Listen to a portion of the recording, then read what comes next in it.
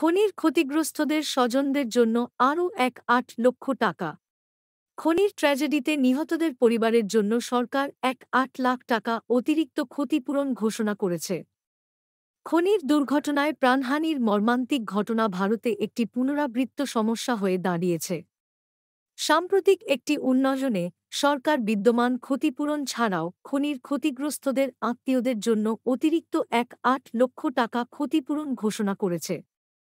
দেশের বিভিন্ন অংশে রিপোর্ট করা বেশ কয়েকটি খনির দুর্ঘটনার পরিপ্রেক্ষিতে এই সিদ্ধান্ত নেওয়া হয়েছে, যার মধ্যে অনেকগুলি অবৈধ খনির অনুশীলনের সাথে যুক্ত।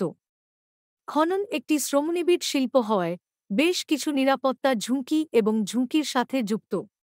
ভারতে খনির খাত অপর্যাপ্ত নিরাপত্তা ব্যবস্থা, যথাযথ পরিকাঠামোর অভাব এবং সীমিত সংস্থান সহ বেশ কয়েকটি চ্যালেঞ্জে জর্জরিত হয়েছে। অবৈধ খনির সমস্যা পরিস্থিতিকে আরও খারাপ করেছে, কারণ খনি শ্রমিকরা প্রায়শই যথাযথ নিরাপত্তা সরঞ্জাম এবং প্রশিক্ষণ ছাড়াই কাজ করে, তাদের জীবনকে ঝুঁকির মধ্যে ফেলে। অতিরিক্ত ক্ষতিপূরণের ঘোষণা খনির ক্ষতিগ্রস্তদের আত্মীয়দের অভিযোগের সমাধানের দিকে একটি স্বাগত পদক্ষেপ, যারা প্রচুর ক্ষতি এবং ট্রমা ভোগ করেছে। ক্ষতিপূরণ ক্ষতিগ্রস্তদের পরিবারকে আর্থিক সহায়তা প্রদান করতে পারে এবং ট্র্যাজেডির পরের পরিস্থিতি মোকাবেলায় তাদের সহায়তা করতে পারে। যাই হোক এটি লক্ষ্য করা অপরিহার্য যে শুধুমাত্র ক্ষতিপূরণই খনির দুর্ঘটনার মূল কারণগুলিকে মোকাবেলা করতে পারে না। সরকারকে নিশ্চিত করতে হবে যে পর্যাপ্ত নিরাপত্তা ব্যবস্থা রয়েছে এবং খনি শিল্প, শ্রম, আইন ও প্রবিধান অনুসরণ করে।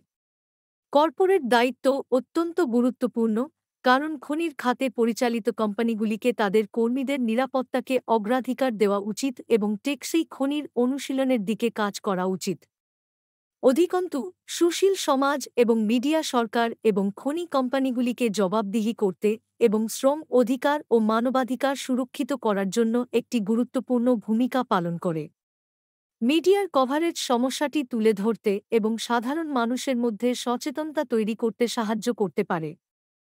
উপসংহারে, খনির ক্ষতিগ্রস্তদের, আত্মীয়দের অতিরিক্ত ক্ষতিপূরণ প্রদানের সরকারের সিদ্ধান্ত সমস্যাটি সমাধানের দিকে একটি ইতিবাচক পদক্ষেপ। যাই হোক নিরাপত্তা ব্যবস্থা উন্নত করা এবং অবৈধ খননের সমস্যা মোকাবেলায় মনোযোগ দেওয়া সমান গুরুত্বপূর্ণ।